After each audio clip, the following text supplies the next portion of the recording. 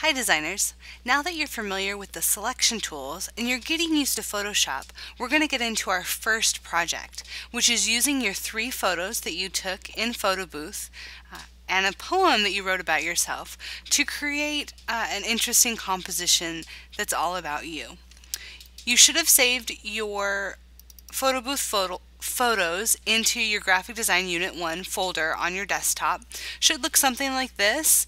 Uh, maybe you took more than one more than three photos.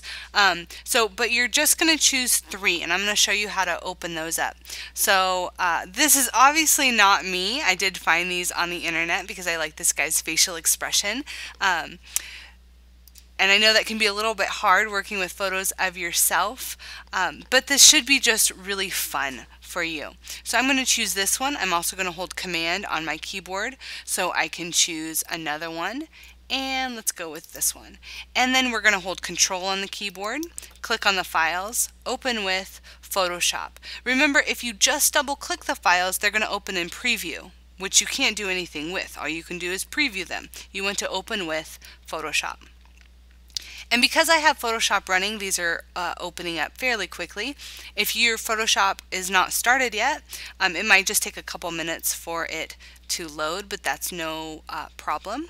The next thing you're going to do uh, is use these photos and you can see because I got it from the internet it's very low quality yours should be higher quality than this but you're going to use your selection tools which are the first three tools up here the set of lasso tools I'm sorry, the marquee tools, the lasso tools, and the magic wand and quick selection tool. You might have already started developing your favorite tool um, and your instructor I'm sure has showed you some tricks, but it's really important that you know how to use all of those. My favorite is the quick selection tool. The shortcut is W on your keyboard if you'd like to learn that. And you can see it comes up here. And the brush is very large. If I use this, it would actually select the entire image. So what I want to do is deselect that, Command D on my keyboard, and change the brush size. I can do that up here uh, in the options bar by changing the size.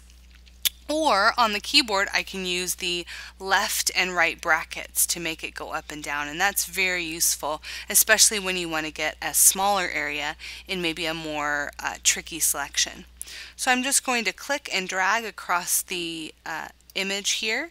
Um, and you can see if I get too much, it's going to pop out and select the whole thing. I can either uh, deselect and try that again, but if it happens again, you might want to try another option, which is actually to use the option key. It gives you a minus sign and that's going to subtract from your outline. And sometimes that can find the edges a little bit better. If you have a selection where there's still a little bit left, you can use one of your other tools like the lasso tool. I like the polygonal lasso tool. I'm going to hold shift. That's going to give me the plus sign to add.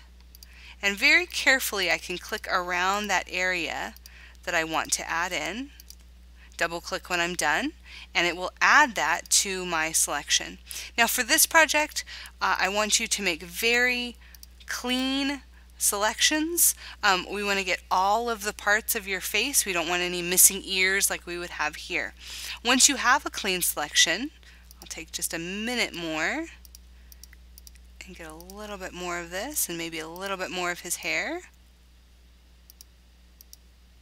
You can also zoom in to be able to see. As you can see, this is too fuzzy to actually zoom in any farther. But right there is a pretty clean selection. Then I'm going to take and copy. I can come up here to the menu bar and select copy, or I can hold Command C on the keyboard. And I'm going to paste that into a new file. If you haven't opened your new file yet, go up to File, New.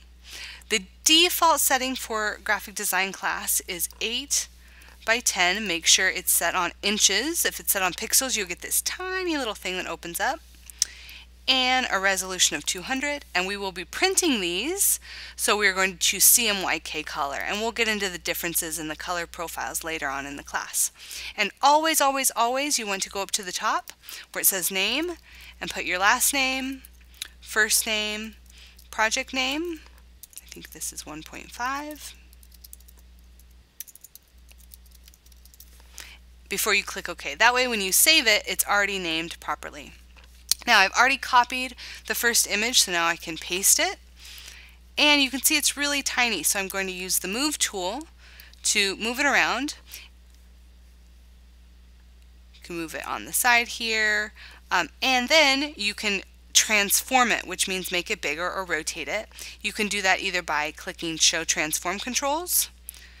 I like to hold Shift on the keyboard so that it doesn't get distorted.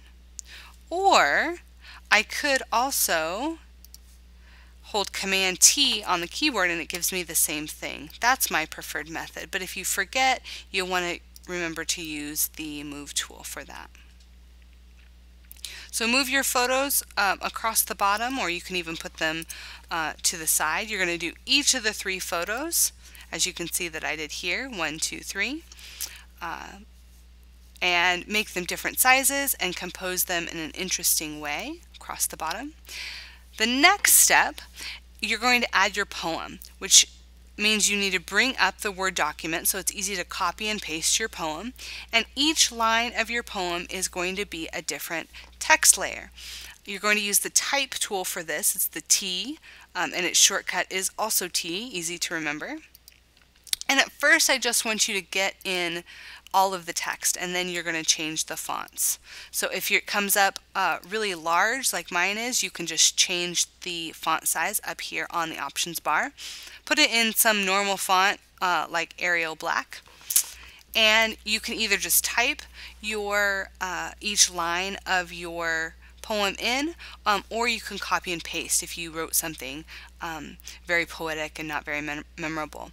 Um, I'm going to just look back here and see what the second line was.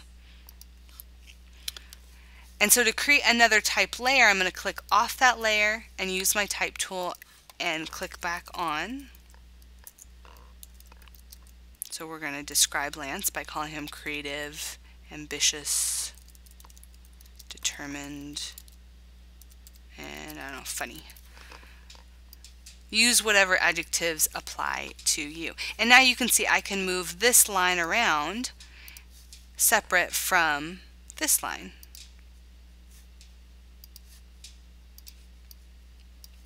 Once you have all of the lines of text on separate uh, type layers, uh, you're going to transform them and actually make them into a composition. So as you can see here in my example, I made Lance really large. Um, that's probably a pretty important thing to know about yourself is your first name. And it's not for you to know, it's for everyone else looking at the design. You're always communicating with your audience. So you can make that really big, change it into an interesting typeface. You can play around with all of the typefaces here. Let's find something that's different. Ooh, I like that. It goes with Lance. Looks a little medieval. And with something that is, uh, this is called a distorted font, it has a lot of details in it, you want to make it really large. You would not want to use this font for um, something like this second, um, this second layer. You can always use your move tool to move the layer around.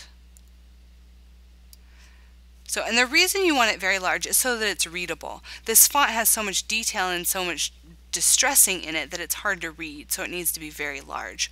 Something like Arial is a lot more readable, so it can be um, smaller. I also want you to change the color, and you do that by using your type tool. Make sure you're working on the correct layer. Select the, uh, the text, and then up here in the options bar, you can click on uh, the color uh, swatch and then change the color. And this is up to you what um, color scheme you use. Uh, one last thing, and this is kind of an extra thing, if you want to get really creative or take on an extra challenge, um, you can actually rotate the text. And so if you click on it with the type tool and hold command, um, you'll see you get the transform controls so that you could make it larger or smaller if you wanted.